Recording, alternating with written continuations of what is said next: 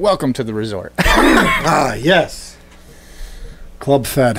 All right. So the question I asked you out on the club deck. Can you fix that one blind? Oh, is it bothering you? It is. Is this one going to mess you up Yeah. tonight? Really What is. if I did? These?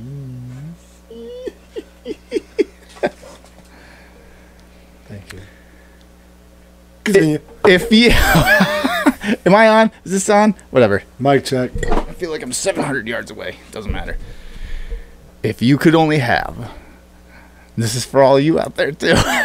Please answer in the comments. if you could only have one pleasure for the rest of your life, one of these two, taking a shit, or what was the other one? Uh, Orgasm. orgasm. I was gonna say climax. No, what did I say? Same Yeah. thing. Or an orgasm. Which one would you pick?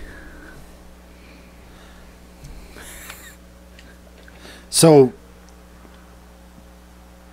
either or you get you had to have one of the the uh, the, the question is I just want to make sure I understand this. The question is you can only enjoy one pleasure for the rest of your life out of two options: Yes. taking a shit Yes.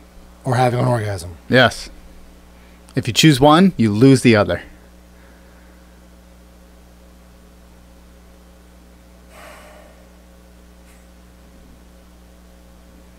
This is a tough one. It is. Orgasm. You choose that one? Yeah, I think I'd choose the orgasm. Yeah? I think I would choose technical difficulties. I think I would choose the orgasm Not me. only because, and here's why. Okay. Here's why. And when I give you this logic, you'll understand why. Okay. I'll put my thinking cap on. You ever try like ghost pepper before? Uh, no. Yeah, I've never tried one either, but uh, from the stories I've heard, it's not so much the 10 to 15 minutes of semi to mildly excruciating heat and pain you endure through your mouth. That's the worst part of the whole experience. It's the shit after. Yep. How many times have you eaten hot wings? And I'm talking hot, hot, like, whoo, goddamn, I gotta take my time on these things. And then four to eight hours later, I hate my life. Not often. You've never shit burning magma. No, not Yes, to, not not to that extent. Your butthole's never burnt after eating hot food. Not to that extent. I'm just metaphorically speaking here. you got a sensitive butthole. Is that what you're telling the world? No. I'm just saying, you've never had a little bit of a burning sensation after taking a poop because you ate some hot food? Sure, but not to the extent Okay. where I'm- Well, some people okay.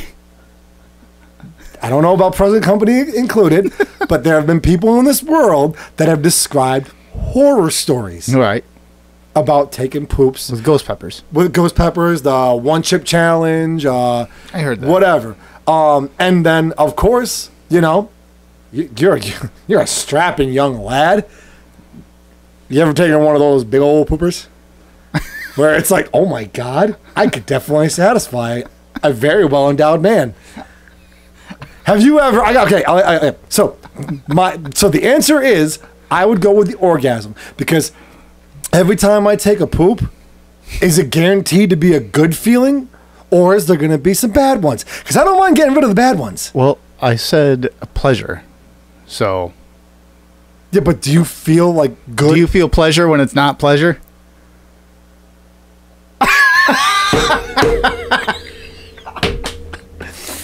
Uh, so yeah, All right. Well, that answers that. I would go with orgasm. now I got a question. I got something for you. what? Next time you take a poop, I, you already told me this. Yeah. folks at home, next time you take a poop, look in that toilet before you wipe and put toilet paper on top of it. to cover up your shame. And then I want you to think to yourself, wow, that came out of me. That means something that big can go inside of me. You will never, ever look at your poop the same again.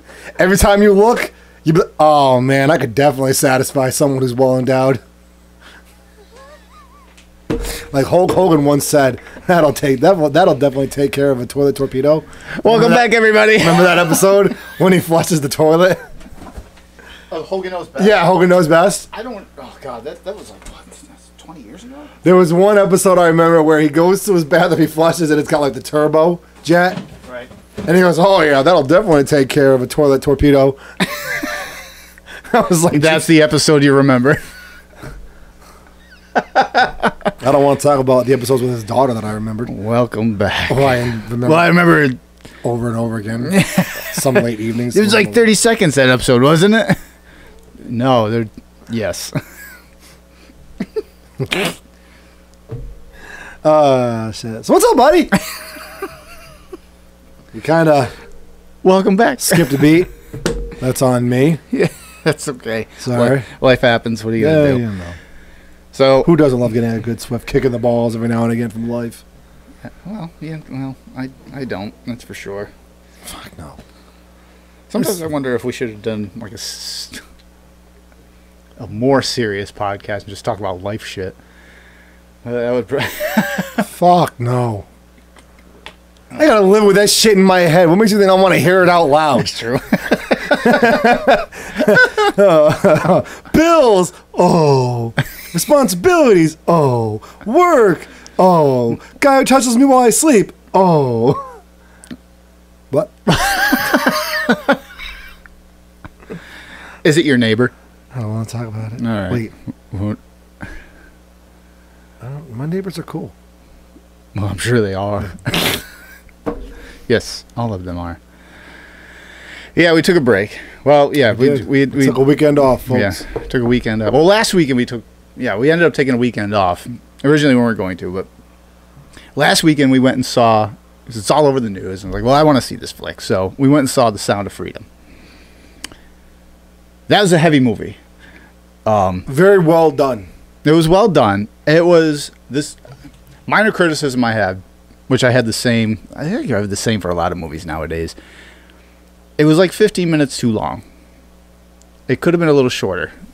They could have cut a little bit out here and there.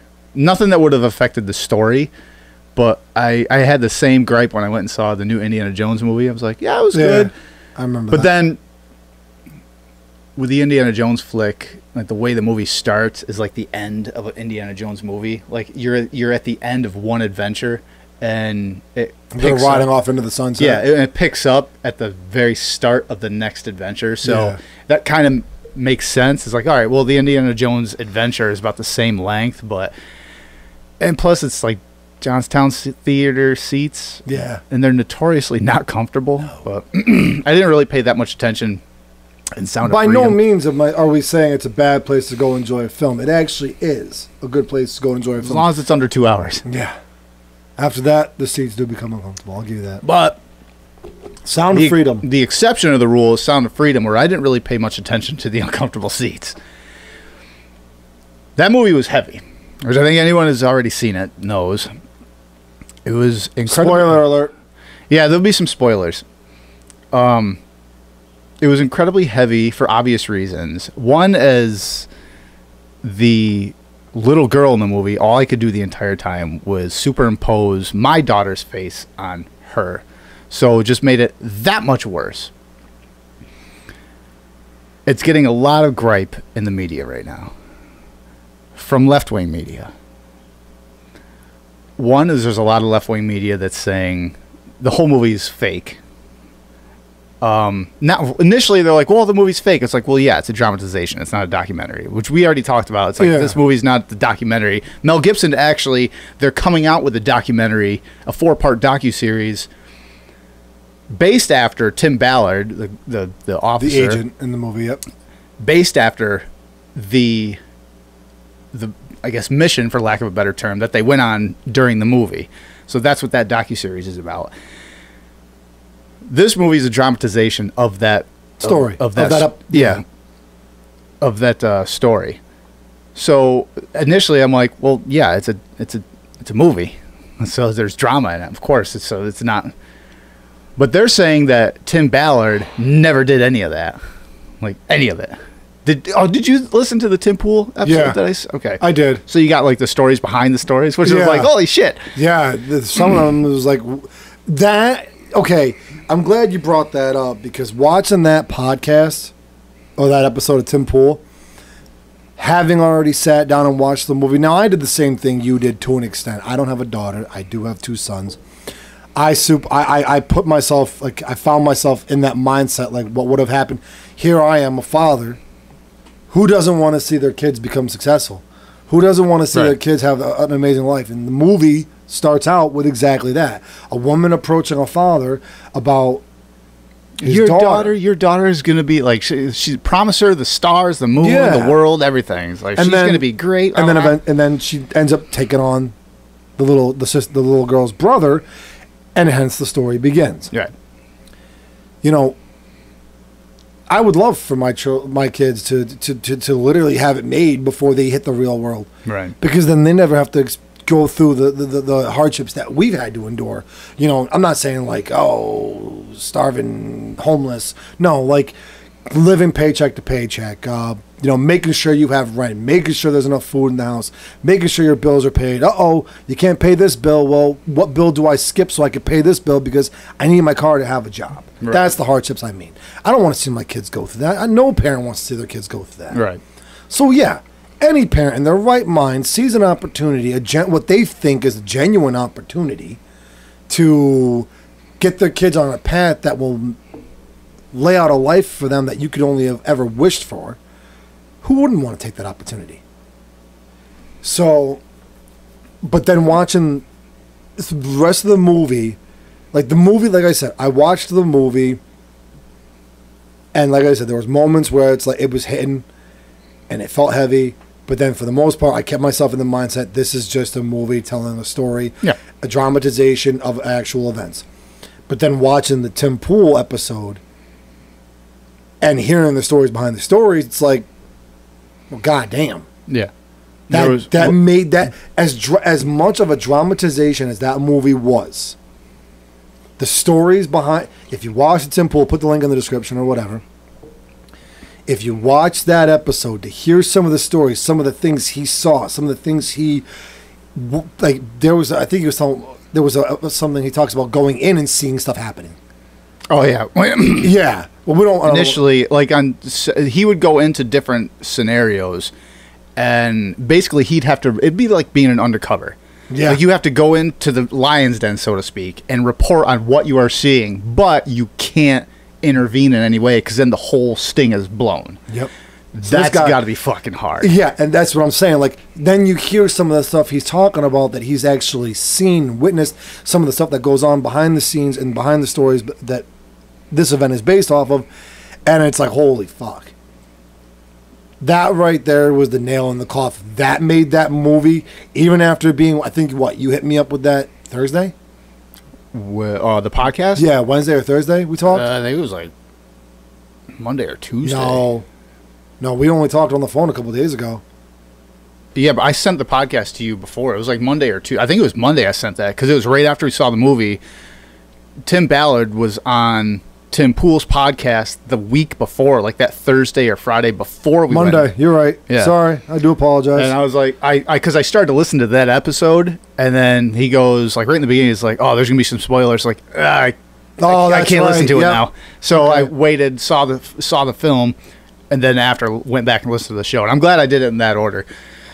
But yeah, like you said, some of the stories you get off it. One, talking about dramatization, the side character, I guess, the guy that helped him down, cartel guy. Yep. yeah, the guy, the ex cartel guy that helped him get in, like, set up basically. in bed. In, Yeah. yeah. I get the story he tells in the movie. Again, this is where spoilers come in. The story he tells in the movie, how he got into it, was uh, at the end of whatever he went and picked up a prostitute That he and- thought was of yeah, age. and did the deed, and then he saw that he they were uh, of age, and in the movie he says, and then she was getting, I saw her getting dressed, getting herself ready, and then s- there was like kitten or Hello Kitty or one of those kind of things painted Yeah, on her nails fingernails, yeah. and it turns out she was 14. The actual story was he hooked up with a prostitute that was of age, but while he was hooked up with that prostitute, she was openly talking about selling her kids to the trafficking thing. Yeah. And that's how he got involved in it in, in the real life, which I actually talked to uh, the missus, and she said that was probably a better story than the one they came up with in the movie. Like this, but I mean, either way, it's fucked up, but So that's how that happened. Did you hear the other story of when they were filming? Uh, It's a not a real long story, but it's kind of a long chain of events. When they were filming in um, Colombia, Was it? It was on the podcast. And the way it happened is when they, uh, Jim Caviezel, who played Christ in The Passion of the Christ, he was the one that, um, he was the one that um, played Tim Ballard in the movie, the main Yeah. character. So when Angel Studios approached Jim Caviezel to play this part, he was like, "Well, I don't know. Let me." It basically, had to get the wife's permission. He was on board. He's like, "Well, let me Let get the wife. the yeah, wife." let me talk to the wife because he's a family man." So he goes back. He comes. He comes back and talks to the director. He goes, "Well, I got good news and bad news." So he goes, "What's the good news?" He- Jim goes, "Good news is I'm 100% on board. Here's the thing, because part of it was shot in Colombia." He goes, "Bad news is my wife doesn't want me going to Colombia because Colombia."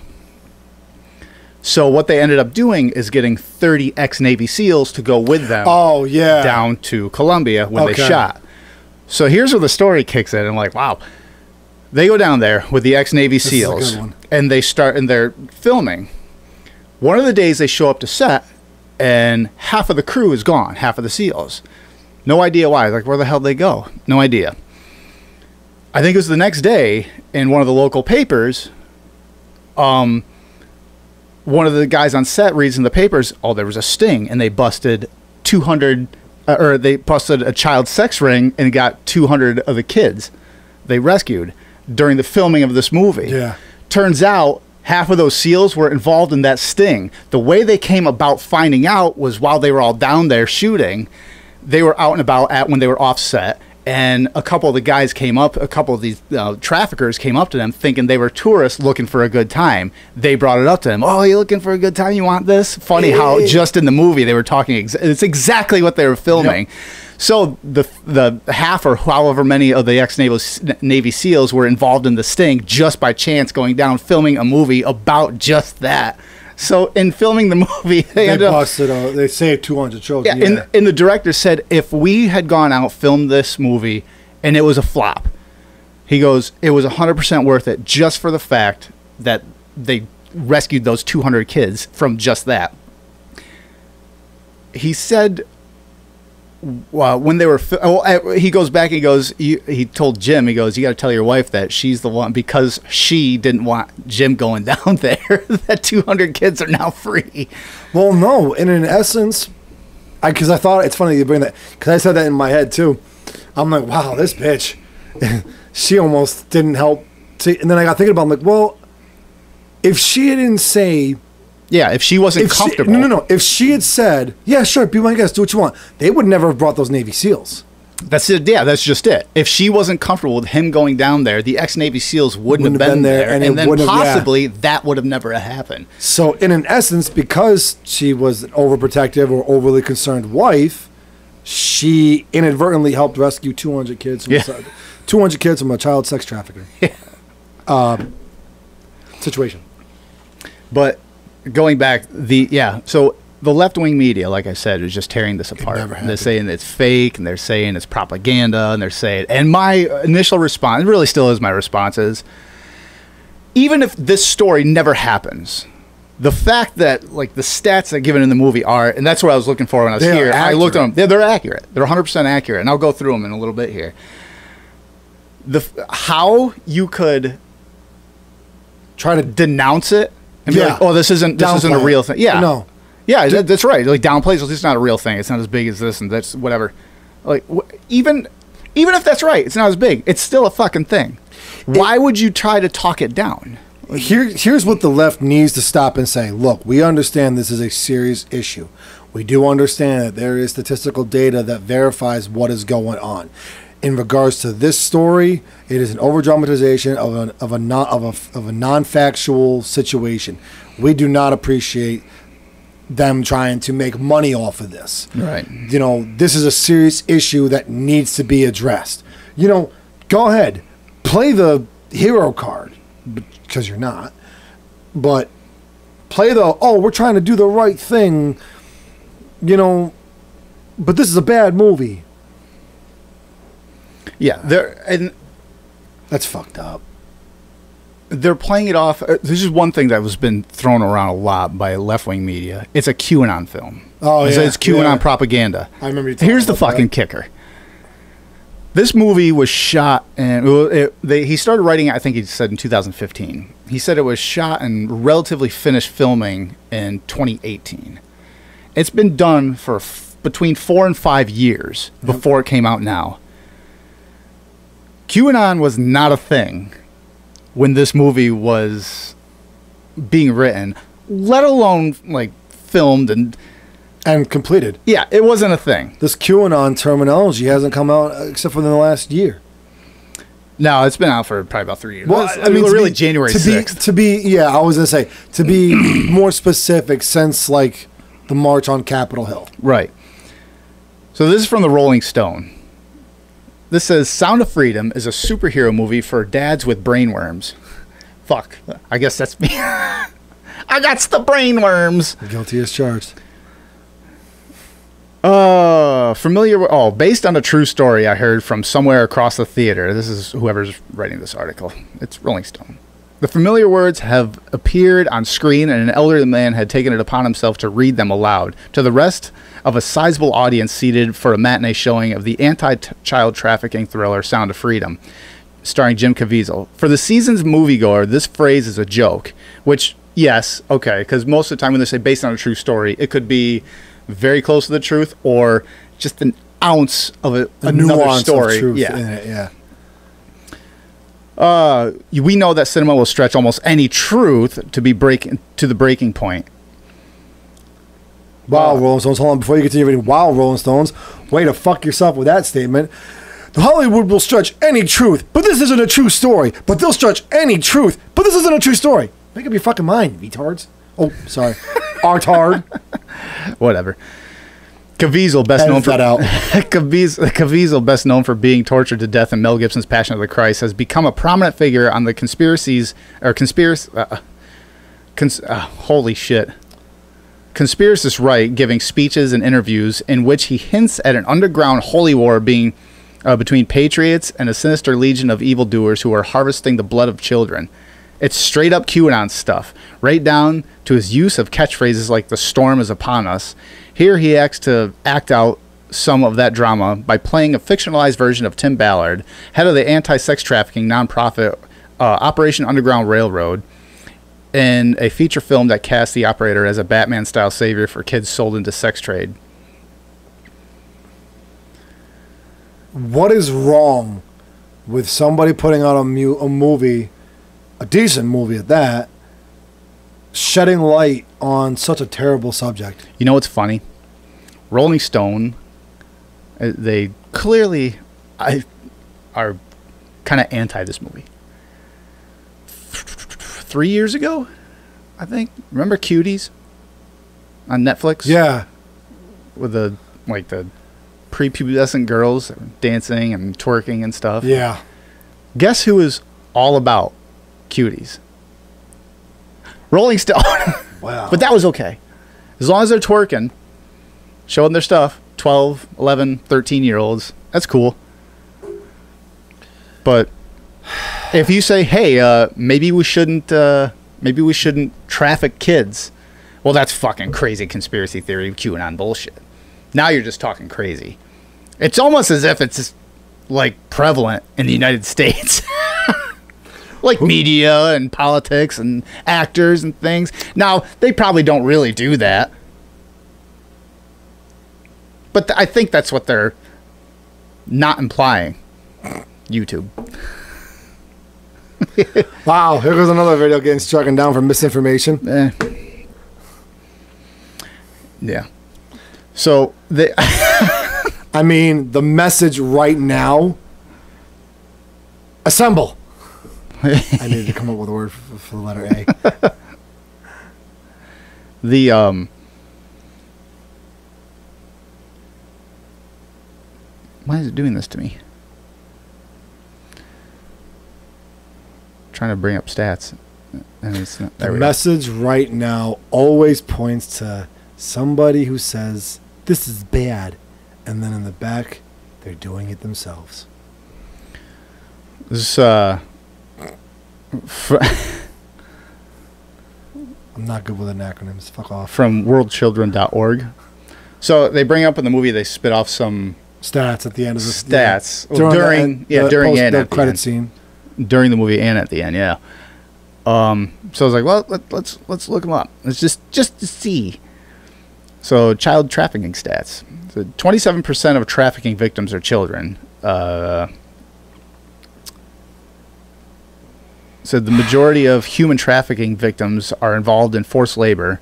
Labor trafficking involves the use of fraud, uh, coercion, or force in order to get a victim to provide labor or services. More than two thirds of vi- trafficking victims fall into this category, including more than 10 million adults and nearly 4 million children. Speaking of 10 million adults, right when this movie came out, as I think it was right before, right after we watched this, just so happened in the news, did you see the woman that was lured by a toddler on the side of a road? It was a woman. She there was a toddler on the side of the road, and this woman went um, to get out. I don't know. She got out of the car or whatever it was, and check on this kid. And then she was abducted or, or was almost abducted. You can look that up while I go through this. Uh, Just like a woman lured by child, uh, or by toddler.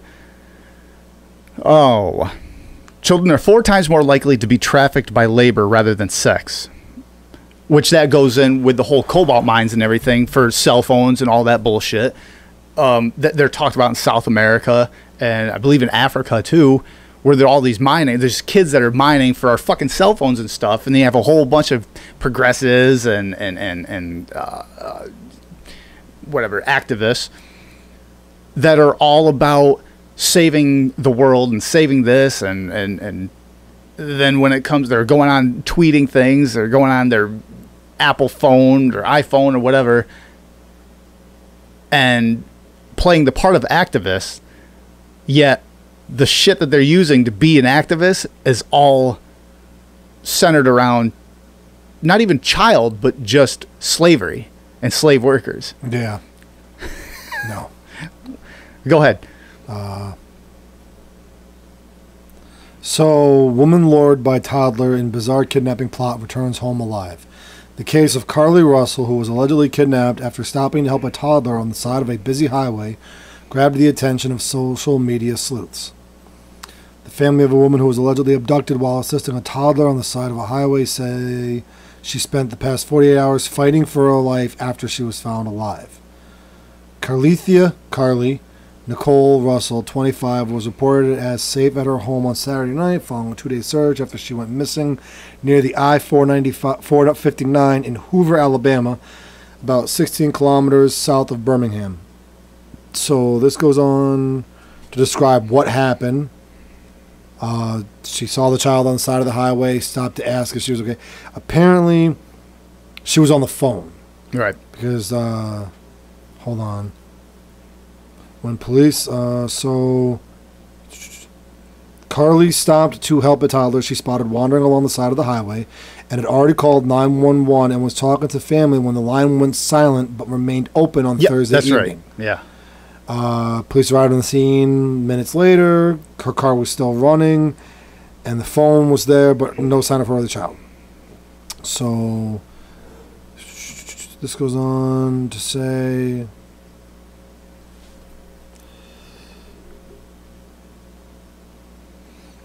it remains unclear where Carlee had been since Thursday when the incident happened. Apparently, so it says it uh, doesn't give any details. Like she, she just showed up at her doorstep yeah,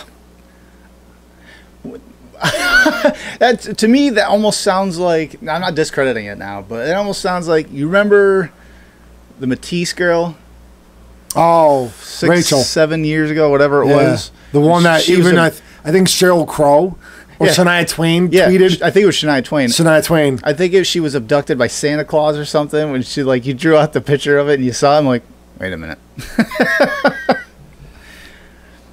she gets um, abducted and this shows up and then no no follow up. Like hmm. Well, I guess it all came out that she was faking it. Matisse? Yeah. Yeah, yeah. She was at her boyfriend's or something like that. Like she was gone for like a week. Doped up and something. Yeah. Not that I'm saying that this is the same scenario, but it's just out of nowhere, like, oh yeah, she's returned safely and everything's fine. Like, what? Uh, This says, uh, though millions of children are trafficked, there is a much larger number of children involved in child labor that is not considered trafficking. There's an estimated 168 million children laborers around the world, with around half of them participating in what is known as hazardous work, work that endangers child physical, emotional, or social well-being. 66% of trafficked victims, uh, child traffic victims, are girls. It's from Save the Children of 2020.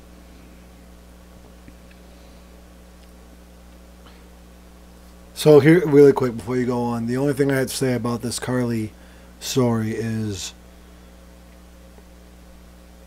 it wouldn't surprise me if that sort of thing has happened. Of that? Yeah, where Right. children have been used to lure. Yeah, because they're- Adults. like I said, there's adults here. Like they said, about uh, one third of them are children. Well, I remember. I mean, think about Balls of, of Fury. Sad but true. You know the, the ping pong movie. Right. Uh the guy that plays what's his name? He played on the Drew Carey show. Ryan Stiles, Yeah, no, the tall guy. no, the dark haired dude. Dark hair dude. Remember the courtesans? Mr. Feng's courtesans. They're all guys. No, I can't So, remember. so, uh, how did you uh, end up here? He goes, oh, went to an audition, ended up being a sex slave. That's funny. That's exactly what we're talking about. Yeah. But the point I'm making is, the, what I was going to get at is, it doesn't, it wouldn't surprise me if that does happen, that traffickers are using children to get adults. This situation seems a little weird.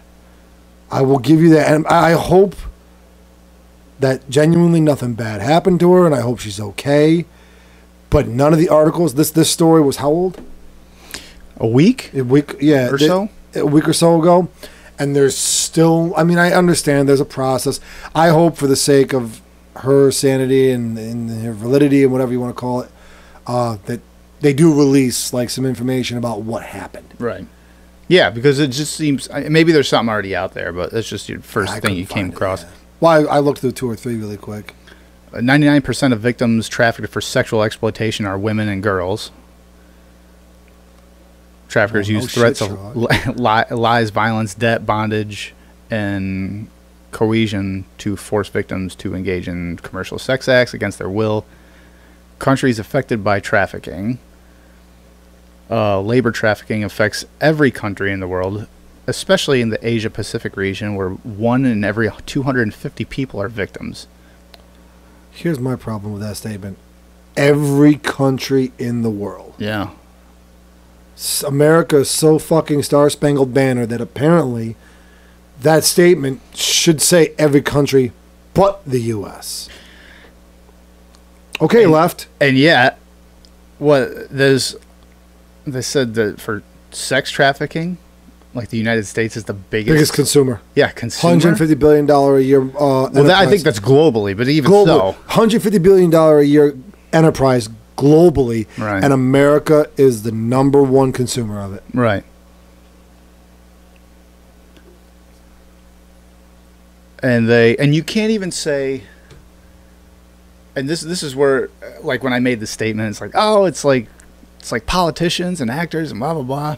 Because one Epstein, and with Ghislaine Maxwell and Epstein and all the celebrities and powerful people, politicians, whatever, that have been to his island, and whether or not whatever happened, there's a laundry list of names, and maybe it'll come out to be some of them true, all of them true, most, a few true, who knows? And we might never know. I mean, we still don't even know what the hell happened with the JFK assassination. 60 years plus, and they're still keeping it under wraps. Yep. I think it's because uh, one argument with that, not to go way off sidetrack here, one argument with that is I think most people their their initial response is, well, most all everyone that was involved in that is dead now, but I don't think it has anything to do with the people because if the American people found out that the the institution of the FBI and the government had CIA. had something to do. Yeah, the CIA had something to do with the eradication of a sitting president at the time. That would shake every. I mean, their confidence in the government is already shaken to the core. If that came out to be 100% factual, that they definitely had something to do with it on paper and not just hearsay by like someone, Tucker Carlson said, I know someone involved with it. And they said, yes, most likely it was some, they were involved with it. But if it was documents were unsealed and not redacted, nothing redacted from it, and you read, oh shit, they did have something to do with it, that would like, the confidence in the government would go from like 10% to zero. Actually, I should say one because there'll still be people out there who'll be like, "Oh no, they're looking out for us." Ah, okay. You just said it. Yeah, I was gonna say, but are, are you hundred percent sure about that? Because how many people now will sit there and say the economic crisis that we are going through as a country? there's there's like, Hold on, all right, there are people. sorry, I get fired up. there are people out there. I've talked to them that have sit, said ver, not verbatim, but the message they got Yeah, across was the economic. Uh, what was the word I just said? Economic, No, before after that. the yeah, I, I don't. The economic you struggle that we are going through as a country is a necessity. oh, the recession. Is a necessity because we had so many. Our last president was so bad; he did everything, and this is us having to suffer through it to rectify the mistakes. Beyond that, I've heard people say we're not in a recession. Everything's fine. But- like, talk about putting the blinders on. They're sitting, but the point, the message, the message, the, the point this guy was trying to get across, the message, the message this guy was trying to get What? across to me was, you know, it, it's been a couple of years. Yeah, it's been hung on a rough. If we got to go through it for the next 10 to 15 to 20 to make sure our, the next generation or the generation after that or the generation after that finally gets back to where things were good for us again, then so be it. We got to deal with it. At least we have an acting president who knows what he's doing and actually cares about the people. Right. We had a tornado and lost power. Here we are. Anyway, going back on the whole JFK thing. Yeah. People like they want to say, "Well, that never happened." In Oh, regard, in regards, you said to, that. Well, we were to the point where I said there's going to be people that will sit there and say, yeah, they did it for the best. For Well, they, w- they wouldn't have done it if they didn't think it would help. us. yeah. In response to that, though, you can't even say that the, the trafficking thing doesn't really happen in the United States because just ten years, I think it was like 2012 or 2013, there was that um, uh, uh, pedophile ring that was busted out in California, fucking California, go figure. Busted out in California involving politicians. Oh, yeah. What was it? 472 people were busted in it. Mm-hmm. You like that was. Well, actually, no, that wasn't all over the news. You can find it. You Yeah, search for it. It wasn't all over the news. Shocker there. Oh, somebody got the shocker. then, because they were a pedophile, we said, fuck it, we're giving them the Spocker shocker. Yeah. So Then, because they found out we found out they were guys, we gave them the super shocker. That for the guys out there, Oh, the super shocker is one in the pee hole, three in the bee hole. Don't be a pedo. So, so there was a thing with uh, um, Anthony Weiner. he has such a perfect name for all this bullshit that always surrounds him. I think, yeah, when we first got here, I was talking about the Yeah. thing when he was defending, like, he was asked, why does the Clintons have such a body count behind their politics and everything? And then he went on The off. Clintons don't have a body count. oh wait, do you mean uh, Hillary's sexual ex- escapades? Senator. she, she can't have too many bodies. and and oh, they're usually hanging out in a tree with self-inflicted gun wounds to the head. But we don't we won't talk about that. Senator Wiener introduces legislation to end discrimination against LGBT people regarding sex offender registration. Did you hear about this? No, wait, one- what? Senate Bill 145. They want to end. They want to. t- You know what? Currently, for constantly, uh, yeah, illegal sexual. All right. Young people regarding California's sex offender registry. Currently, for consensual yet illegal sexual relations between a teenager age 15 and over and a partner within 10 years of age, sexual intercourse does not require the offender to go um, to go onto the sex offender registry. Rather, the judge decides based on the facts of the case whether sex offender registration is warranted or unwarranted. Okay. So just to make sure I understand you clearly, okay. in California, what this guy is trying to no, not California. Where is this? Cali, In Cali. Okay, so yeah, in California, this guy is trying San to, Francisco specifically. is trying to push it through that if a child of 15 sleeps with an adult of 25 depending on the contingencies the, con- the no bad that's not the word.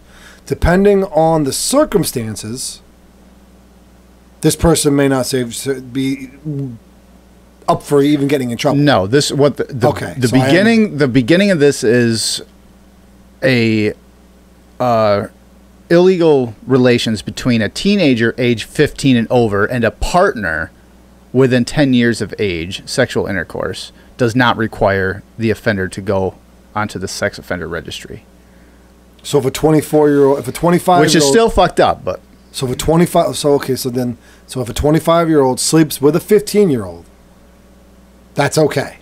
They don't need to be registered right apparently as long as it's consensual. yeah I don't, um, that's not. But you can't smoke a cigarette till you're 21. You can choose to get, oh my God. So, so it says SB 145 does not change whether or not particular behavior is a crime and does not change the potential sentence of having No, sex with an underage person. Rather, the bill simply gives judges the ability to evaluate whether or not the required registration as a sex offender. To be clear, this judicial discretion discretion for sex offender registration is already the law for vaginal intercourse between 15 and 17 year old and someone up to 10 years older. SB 145 simply extends the discretion to other forms of intercourse. A judge will still be able to place someone on the registry if the behavior is issue as predatory uh, uh, at issue as predatory or otherwise uh, egregious. This change will treat straight and LGBT young people equally, and the discrimination against LGBT people, and ensure California stops uh, stigmatizing LGBT sexual relations. I actually know what those words meant. I understood every word in that sentence. I'm not stupid. But on a serious note, so, but still, no, you know.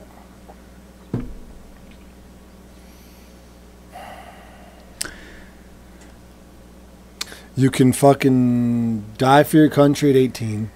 You can't smoke a cigarette or drink a beer till you're 21. But to sit there and say, oh, it's okay, you can't decide it's a good or bad thing to smoke a cigarette before you're 21, but you can choose to have vaginal or anal sex, get pregnant, or get an STD. As long as you guys are both consenting, we think you're mature enough for that decision. Now I'm not saying e, I'm not saying I'm not saying every fucking 15 year old is an immature little fuckhead. Well, Only when they're 6'2 and about 175 pounds can they get on your fucking nerves. I'm not describing anybody specifically. Love you, kid. Um, said Anthony Weiner pushed a bill that would discriminalize sex with a minor as long as the minor is part of the LGBTQ community. so now they get special privileges. Huh. Or, or, or, are they going to flip that shit and say, oh, you're targeting the LGBTQ because we're not real people? It's not considered sexual assault if you rape a 14 year old or a 15 or a 16 year old and you're 25. I mean, yeah, I didn't even think about it that way. That's fucked up, right? That that can go both ways. Yeah, I They're either going to sit there and say, "Yay, we've got privileges because we're LGBTQ," and A through Z, um, or you guys are targeting us. You're saying it's okay to rape a gay 16 year old or You know, a lesbian 15 year old. you just introduce two sides of a subdivision of a subdivision, like split. you, you literally just like Mind you know, blown. You know how everything's like now we're just everyone's divided. Yeah. You just made another group that will be divided. They're they're trying to attack us. No, they're trying to help us. Well, you're a fucking bigot. You're welcome.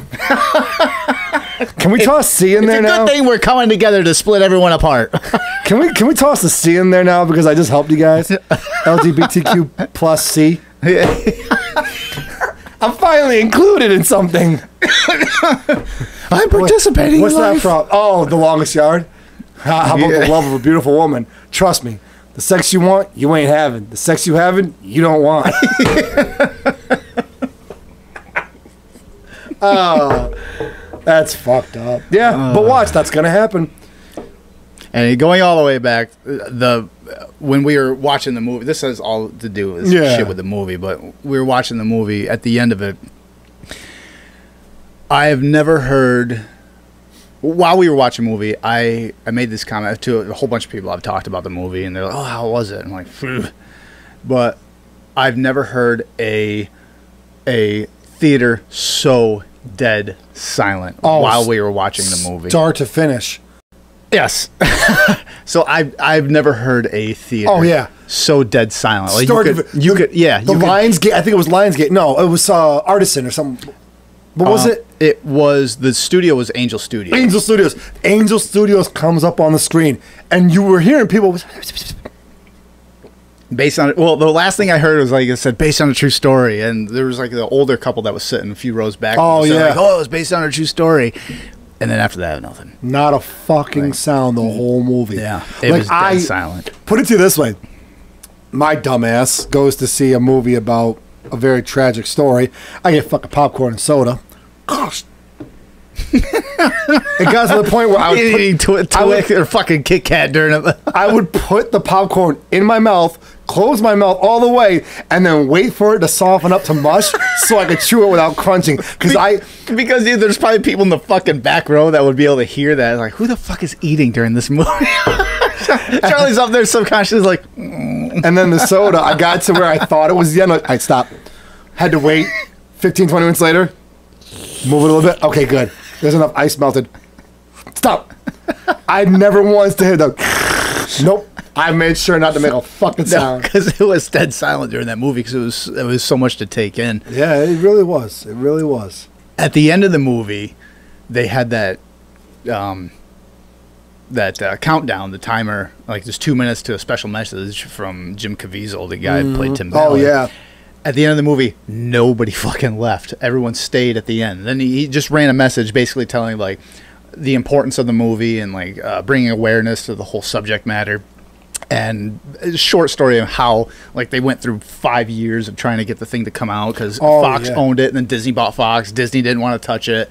So they had Angel Studio come in. They had to buy the rights back to actually distribute it. And even so, after they had like loop after loop, they had to jump through. And then at the end, they give you the uh, the scanner QR code to Yeah. donate to um, pay it forward. pay yeah, a pay it forward. Um, You could you could either donate money right. towards somebody who wants like towards so basically somebody could go on and say oh there's a, enough money in this account to buy a ticket boom buy a ticket or Right. you could buy tickets and people could just go on to the website and get free tickets And it, we ended up. She actually did it for us. Three, we got yeah. three tickets. Uh, one from representing basically each of us. The movie is made. It cracked this a couple days ago. It was reported cracked a hundred million dollars. so it's made its money back at least A lot. that's good a lot. I mean, there's one of the few movies that actually went up. It made it made more the second week. I think it made like 17, a little over 17 million the first week, the 4th of July when it came out that week. Yeah. The next week it made like 20 29 million. Like so it went up just from word of mouth, which I like to see. But yeah, it cracked 100 million. good Um, Good. but yeah, I I can't I I can't recommend it enough. And a lot of people I've talked to just at my job and stuff, like, hey, you want to go, you want to go watch it. So there's people Just- that work in the district office. They're like, oh, I gotta go see it now. just be prepared it, it is a real heavy oh, movie Oh yeah, I tell them it's like it, it's not a popcorn flick. For I warned you, asshole. and there you have your reason why. On a side note, another story from behind the scenes that uh, Tim Ballard hasn't watched a movie. He says he can't. Turns out that a lot other than the restricted area from Colombia. Most of that movie, the island where the kids were picked up, was shot on scene. That the shit actually happened. Yeah. So, and he's like, I just don't want to watch because he he was part of it. He lived it, so Yeah. he doesn't want to watch it. But so that just adds that little bit of extra weight to it. So yeah, the the website to donate to the trafficking thing is ourrescue.org, O U R rescue.org. So do the world a favor because the shit's real. And in the movie they give off some other stats. Like I read up some so they said it was a 150 billion dollar a year business that's slowly taking Globally, it, no, it is the leading. Is it the leading now? I know they Yes. s it was like it's yeah, it's surpassing the drug. which is only at like 25 no No, I think it's like 100 100 million Yeah. 100 billion 100 yeah. billion yeah But I mean even so, the fact that ugh, and the United States is the biggest consumer yep of yeah, of sex trafficking anyway. Yeah. Which I mean they say I think it was on the podcast he was talking about. You go to these like the especially in the uh, Central and South America, you go there and a lot of these guys go up to you, you tourists, thinking that you're looking for a good time. It's like, hey, you want a good time? It's like that. That's where they're gonna try to pass some of this shit off. And that, like saying before, is that how they ended up getting that sting while they were shooting the film. yeah Segueing off of that, that's the movie. Go see it. It's good. yeah It's it's fucking heavy though. it is this is from a couple weeks ago. Cocaine in the White House. oh yeah i heard something about that Instantly, first name that comes to mind. bush I that's true though. No, his they- was crack most yeah that's right his uh, hunter yeah. I say most people went uh, Hunter Biden. Even if it's not, there's such a stigma now because of the laptop and everything else. Oh, yeah. You see that thing? Speaking of Hunter, Margie Taylor Greene had pictures of naked Hunter Biden that she showed. I think it was in, in the Senate that she just said, "What's this?" Basically. so there's pictures of nude Hunter Biden from taken from his laptop. So what the fuck is this then? Basically, paraphrasing. Marjorie Taylor Greene, like leave it up to her to just fucking shake shit up. love you Granted, she says stuff sometimes, so like, eh, you should probably dial that one back. But yeah, so there was drugs found in the west wing of the of the uh, White House. well And- did, was it identified as cocaine Yeah, cocaine. okay because i remember when i first heard about it there was an unknown white powdery substance The, yeah, maybe it's, and some people are saying,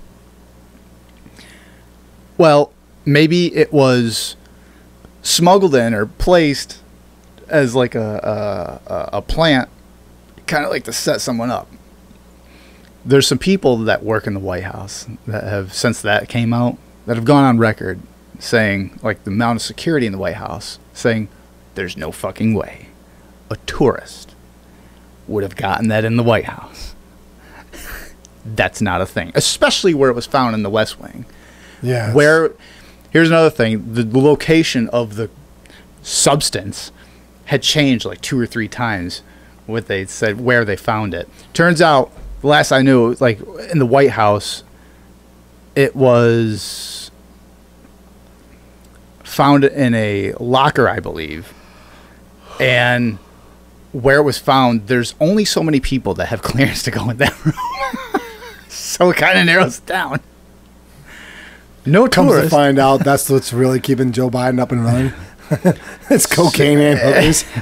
I mean, Come on, uh, I, I'm so old. I know I mix up. So that's what it is. He's not trying to sniff children. He's forgetting where he's at. and instead of sniffing cocaine is off, this a of mirror? Is this what I look like? instead of sniffing, No. co- no, no, no. Instead of sniffing cocaine off of a hooker's ass, he forgets where he is. He goes, oh, look, she got dandruff. That's a prostitute. Oh, cocaine. Uh, oh, that's not. I'm not awake yet. That's not a Mm, hooker. Must not be it. It's Ajax. what is it? It's fucked up. Uh, uh, Cheech and Chong still sm- or up in smoke. the fucking Ajax. Wow. no, no, that was, that was- I think that was next movie or still smoke. One of those. I don't know. uh, uh, Cheech and Chong's next movie. He's like, ah, it takes it. He's not. Ah, I'm gonna die. It's space. It's space, it's space coke, man. I'm gonna die. Yeah, when he sniffs the fucking Ajax and drinks the dog pee, or no, drinks his sister's pee. Yeah, no, it was salt. And He drinks his sister's pee. And, No, yeah, and it was a bag of salt, and you're like, oh, It I don't want to be salt. respon Yeah, it was. I don't want to be respons- responsible for getting you hooked on Oh, drugs. Turn you into a drug addict. He's like, oh man, come, please, please. No, please. I like I the- just want to smell it. He's like, okay, don't. Don't take any. He's like, okay, I just want to smell it. Cross my heart or hope to die. Stick a needle in my eye. He's gonna do- hey man, that's salt. no. I like the part when he goes, "Oh, I'm really gonna fuck with my parole officer's this time." Why is that? Why is that, man? My sister's pregnant. yeah, it's like last week I brought up a jar of man that had mayonnaise floating in them. He thought I was on some kind of drugs again. And this week I'm really gonna fuck with him. Why is that? I have my sister's pee and she's pregnant. That's it. anyway, no, no fingerprints or DNA turned up on the baggie of cocaine found in a lobby at the White House last week. Yeah, despite a sophisticated FBI crime lab analysis, the surveillance footage of the area didn't identify a suspect, according to a summary of Secret Service investigation obtained by the Associated Press. There are no leads who brought the drugs into the building. Of course, there's not. Of course, there's not. We're in the White House, and they can't fucking figure this one out.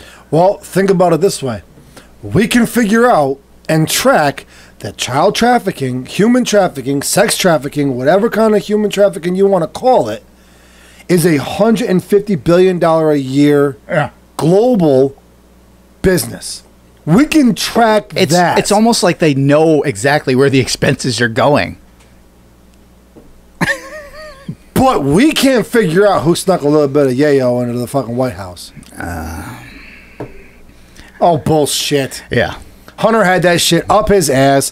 His fucking father he caught it him. into his own his, fucking ca- White House. his father caught him trying to pull it out, so he's like, "Oh, I don't know what happened, man." Hunter, why does he have a? Sp- Are you just racist against He's your got own burning people? baby on me. I was I was trying to save a baby in this burning building. It's like I got burning baby all over me. You're saying that Hunter boofed it into the Fuck White yeah, House? Hunter and- poofed it. Is it Hunter? You know you you kind of live here. You don't have to do that. Yeah, no, I do. No, Dad, I don't. I don't live here. I'm just staying because You don't understand me. I don't have a place to stay right now. I do it because I watch you. I learned it from you, Dad. Uh-uh, you stupid son of a bitch. Ah. I got eight kilos up my ass, and the kids like to rub my hairy legs. The U.S. Secret Service agents found the white powder during a routine White House sweep on July 2nd in a heavily trafficked uh, West Wing lobby Oh bullshit! where staff go in and out, and tour groups gather to drop their phones and other belongings. You were bullshit. you mean to tell me in a central spot where everything gets checked, a bag of cocaine gets by? You know that uh, it's one of two things. This either shows the the blatant lie that they'll push out to the media, which I think most people will. That's what they're going to run with. It's Yeah. like that's fucking bullshit, and maybe rightfully so, or the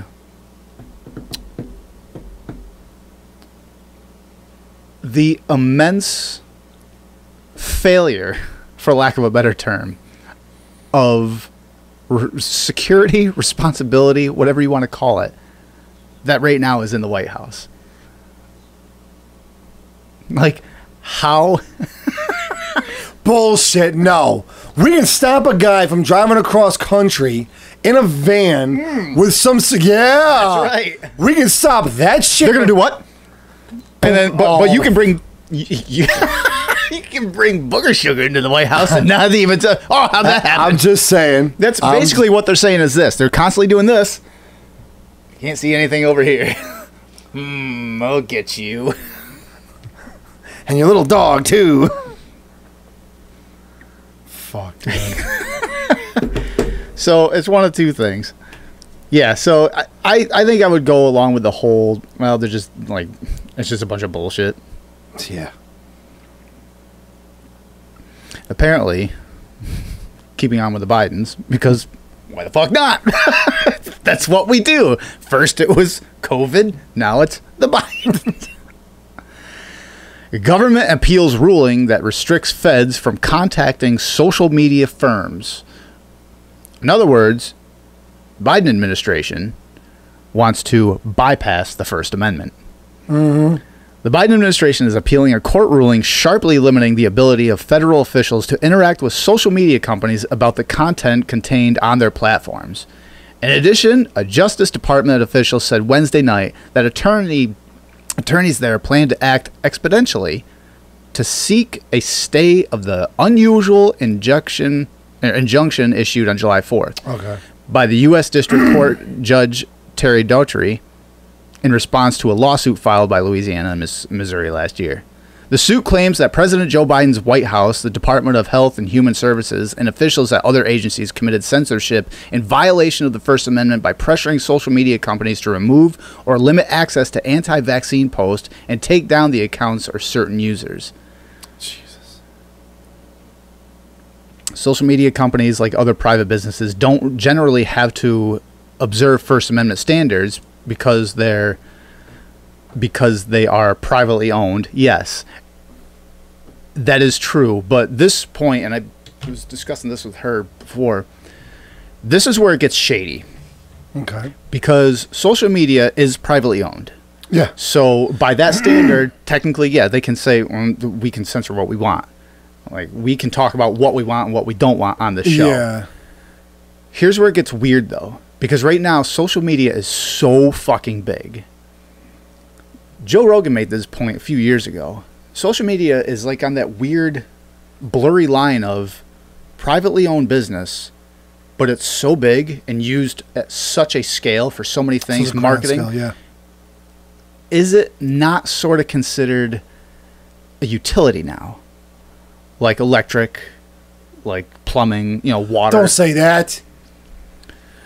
But then if it if if it crosses that, does that give everybody the right now to it's like you can't like it's kind of like when cell phones came out. When f- cell phones first came out, you didn't need them. Like No. you didn't like. There's no reason you didn't need them. Like there was landlines and whatever. Like that was now if you and you went for a job that like didn't matter. Now if you go for a job and you don't have a cell phone, because now everyone expects like I need to get a hold of you now. Oh, yeah. And like time is money. That's what all businesses are now. Time is money. If I can't Some get a jobs hold, require a GPS. Yeah, some jobs- have a fucking hand, fancy version of. It. Yeah, some jobs give you uh, uh, their own cell phone, Oh, so yeah. you have two phones. That's required now. Social media is like in that area right now where it could be that, and if that's the case, for marketing and what have you, like Yeah. it could be that. If that's the case, does that now include First Amendment? Like, if I want to say something, you can say it, and you can't censor me because now it's surpassed that use usage wise it's surpassed the privately owned business into a utility like i said before the argument would be well there's other options social media wise like Yeah. well if you don't want youtube there's rumble but i mean facts are facts youtube is massive it's, Well, the f- it's the place The fact, so at the end of it, when you stop and think about it, the fact that you even put the word utility on it is a fucking good terminology. Mm. The reason I say that is if you have, if you wish to have any form of social media, whether it be to see it or use it, to whether to to view it or um, distribute on it, Mm. you should have to pay a fee. and i But no, what, what that comes down to now is now i yeah. you take it into a you take it to that level of well look this is no longer they provide a service. They no longer get to say okay they provide a service now. They no longer get to say what i can and can't put on it. Right. Because like the electricity prime example. They give us the electricity. They can't say what we can and can't use it for. Yet. Yet. Right. Uh, uh, uh, the cars we buy and pay for, the car payment you make. mm-hmm. They give us a car. They can't tell us where we can and can't go with it. yet. Where i'm going with this Oh yeah, that's what I'm getting at. social credit score but what I'm so But yeah, eventually it's going to get to the point where if they did that, yeah, no, that's fucked up. I I'm not against paying for the service. If that means if paying for it, which Secures my freedom. yeah, if paying for it says we can't unless I mean there's obvious things, threats, doxing, Oh, things of that nature. Something Well, I'm completely pretty different. sure if you use like your fucking electricity to electrocute somebody, they're probably going to come in and say, "Hey, uh, no, you can't do that." Yeah, I don't think you can make that. yeah, I mean But there's right there, it's like you just said. That's what I was trying to get at. Thank Right. you for continuing that. Thank you for finishing that. Finishing that for me. Technical difficulties. Um, if you pay for a service, you should have the free, you you- you are paying for that securement of your freedom to use it how you choose. So choose right. within reason. The problem is, like you kept saying when you kept joking with it, yet, yet. Right. At, The, at what point, no matter the, the point I'm getting at, the, the where I want to tie this off with, the, where I want to end my point is, doesn't matter how they look at it. Doesn't matter what approach they try to take. It's gonna come down to where they're not gonna stop until they have what they want, and that is no more first. yeah, and uh, here's the, th- which is more dangerous, losing the first or losing the second? Losing the first. Yeah.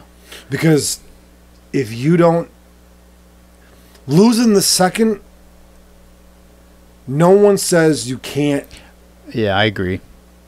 Because losing the if you lose a second, if Peaceful protesting, that real it's just that. peaceful protesting, real genuine peaceful protesting, where you get five million people who literally go to the White House and sit around that place and lock it down. Mm-hmm. They don't move till Biden resigns, let's say.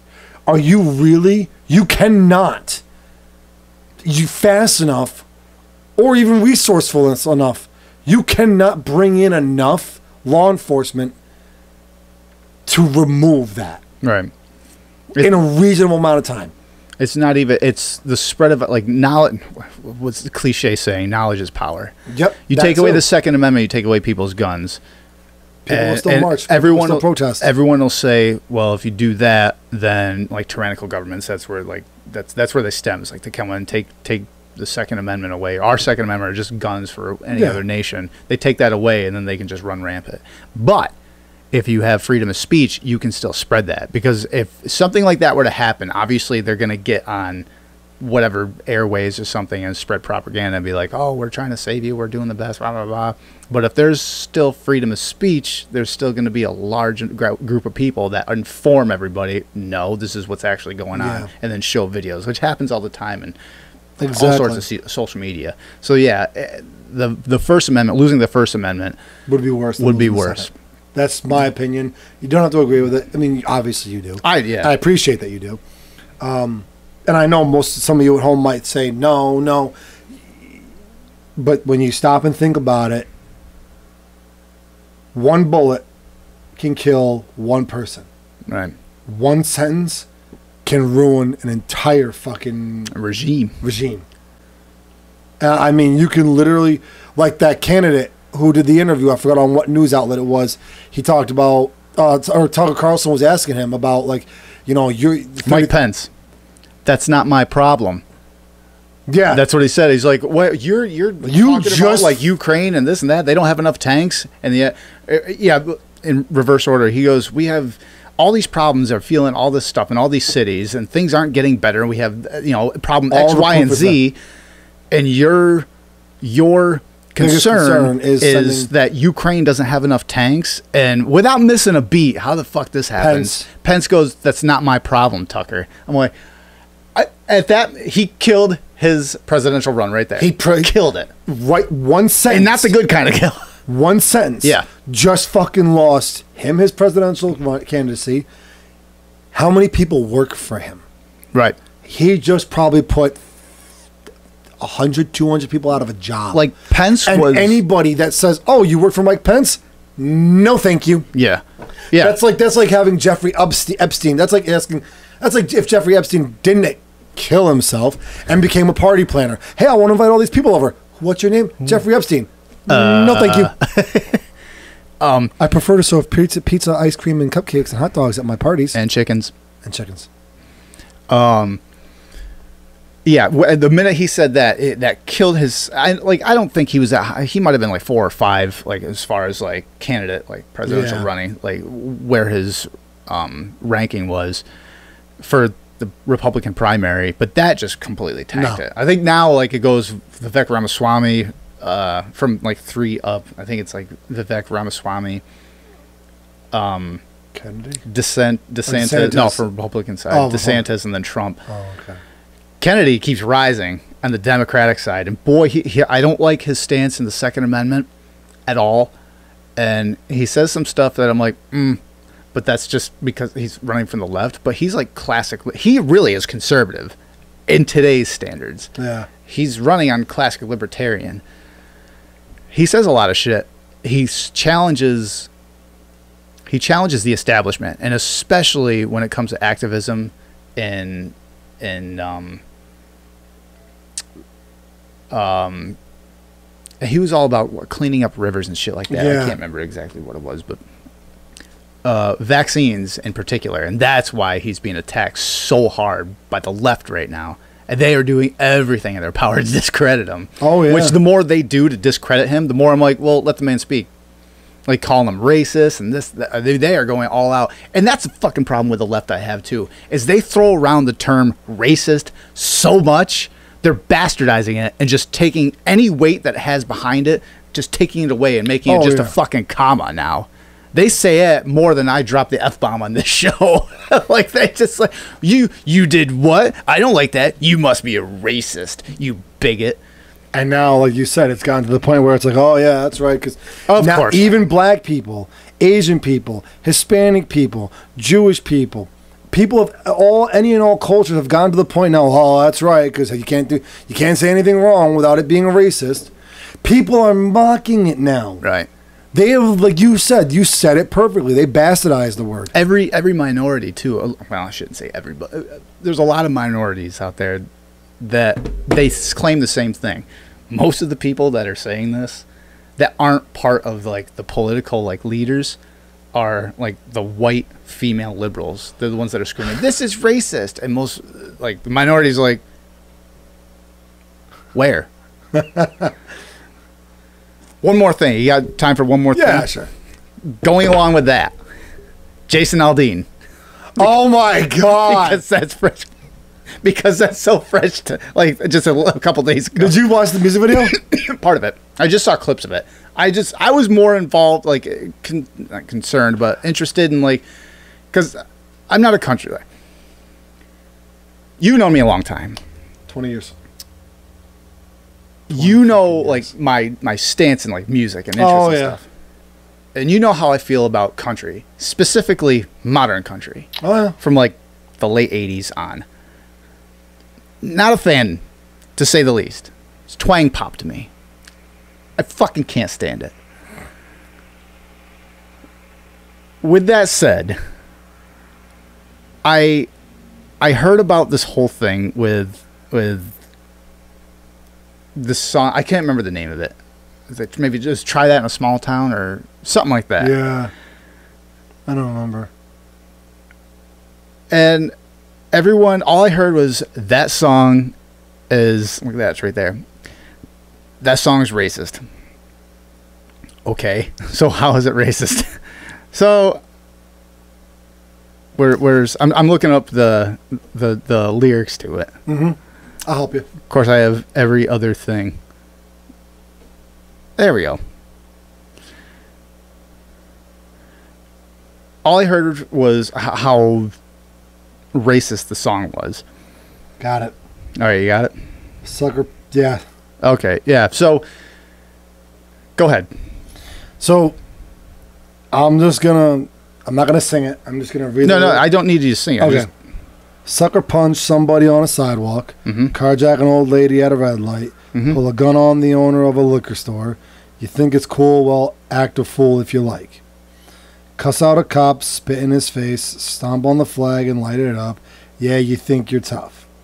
Well, try that in a small town. See how far you make it down the road. Around here, we take care of our own. You cross that line, it won't take long for you to find out. I recommend you don't. Try that in a small town. Got a gun that my granddad gave me. They say one day they're going to round up. Well, that shit might fly in the city. Good luck. Try that in a small town. See how far you make it down the road. Okay, it's a repeat of that one, that verse. Full of good old boys raised up right. If you're looking for a fight, try that in a small town. Try that in a small town. See how far you make it down the road. Repeat that. Try that in a small town. Ooh, ooh. Try that in a small town. So that's racist. It's it's pro lynching, is what I heard. Oh yeah, Pro lynching. pro lynch mob. Yeah. So what is being claimed is that it's it's a it's a sun. They're talking about sundown towns, which Which, for those of you at home who don't know, the the, the terminal the, the phrase "sundown town" comes from a time when, you know, is like the the color of your skin, teens and twenties or something like that. the color of your skin dictated whether you could be out and about. Actually, not even the color of your skin, your ethnicity. Italians, Jews, didn't matter. Right. Sundown town meant you were not supposed to be out on the town if you were not white Right. in America. And other, here's the worst part because this is something I looked into. It's fun that you bring it up. You know, we didn't invent that. What? Nope. nope. We didn't invent Sundown Town. Uh, the, the, it comes back from actually like uh, I want to say it was like uh, the one article I read. They dated it back to as far as um, like uh, Chinese empires, Mm. dynasties, and stuff like Mhm. that, where Mongolia. You weren't allowed out. Outsiders were not allowed in, no matter what. Yeah, it's almost like that's a fucking not a new thing. trade was allowed through these towns, but if you were not of Asian ethnicity, you were not allowed to trade through, let alone be in those areas, be in those trade routes after sundown. Mm. Because you were straight up Harry carried. Next thing you're gonna tell me Ari that. Kari. Next thing you're gonna tell me that Trump was the only president that doesn't have any slavery in his history. No lineage, nothing, no slave You owners. didn't know that? Yeah, Mm. Trump never, Trump's family never owned a slave. That's crazy. Yeah, and uh, did you know? This is a little fun fact. I don't know if it's true or not. you know, blacks weren't the first ever enslaved. In fact, their number is only a fraction of the amount of people that have been enslaved in this world. Huh. You know, because slavery didn't start in America. in fact, there's More. So it's like there's more Uh, slaves now than there was. you know, Oh yeah, yeah. yeah, Yeah. who, uh, I think it was whites were the most enslaved skin color. But that's fake. Fake news. Fake Sorry. news, yeah. Please don't. Please don't Fake take this news, video YouTube. down YouTube for Fake news. That's that's malinformation. Malinformation. yeah, that's not even misinformation. Now it's malinformation. It's information that's But just yeah, not so fucking Sundown convenient. Town wasn't even started in America. It basically came from, I want to say, like I said, the article I read based it out of Asian dynasty, Empire dynasty era, where trade routes were allowed, but if you were not of the Asian ethnicity, you were not allowed on those routes after sundown. So this song is supposedly pro lynch mob and pro sundown town right. when there's not a fucking comment. Oh my god, people are fucking fishing. The I all right. So like I said, knowing my history, I'm like not. I'm Continue, not. I'm sorry. not a com- country fan at all. So I have no reason, just genre wise, music wise, I have no reason to defend this song. I couldn't care any fucking less. As far as just the subject of what's being preached and what I've heard from the lyrics, I don't know what the fuck they're fishing for. Well, I know what they're fishing for, but I don't know what where they're pulling it from. What's interesting to me is the way a lot of wokeism, we'll call it, I can't call it left because it's not all the left, but the extreme left and the woke cult. Mm-hmm. What they're claiming is that, or what they are claiming implies that what they're talking about in this is like, oh, carjacking, spitting in a woman's face. The way they're pinning that says to me, anyway, that the only people that do this kind of thing, all these things in the small town, try it here, Are people of other race? are people of mi- minorities.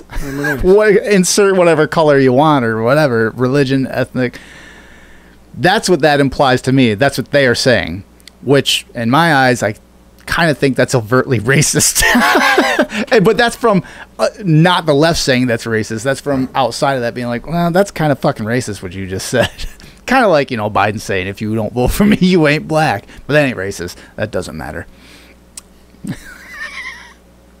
So yeah, the the Aldean song. I was like, well, that's interesting. It's a good song. I have actually listened to it. I've listened to just segments of it. I, I like I said, I heard about the whole deal. I'm like, what? And then of course they're gonna play sex checks into the song and be like, wow, it's this. I'm like, all right, it The just sounds worst- like any old fucking country song to The me. worst part is, I've been.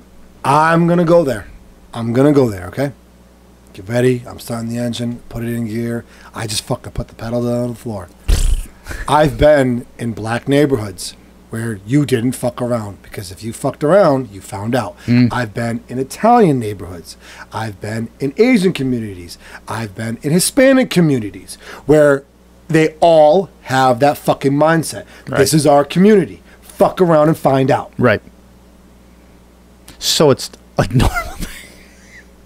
No, it's a thing to protect your community. That's what I mean. I mean, it's a normal thing. oh, it's not racist. There's nothing pro fucking lynching. Oh my god. Whatever. You There, fucks. the one. The, yeah. So that's what. I um. Yeah, I, I heard it and it's like, oh, this is pro lynching. I'm like, where? I don't understand where you're pulling that from. But um, yeah. So I guess it's racist. People just need something to attack. You know, like unborn children. That ninety three percent of them are just contraception? Bye. Coat hanger.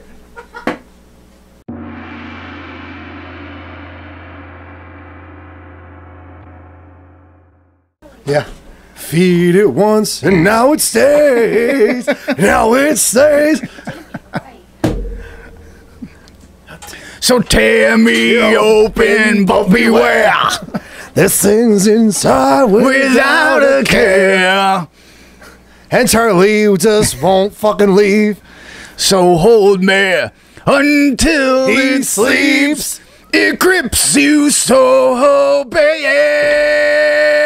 Such a good song. no, but uh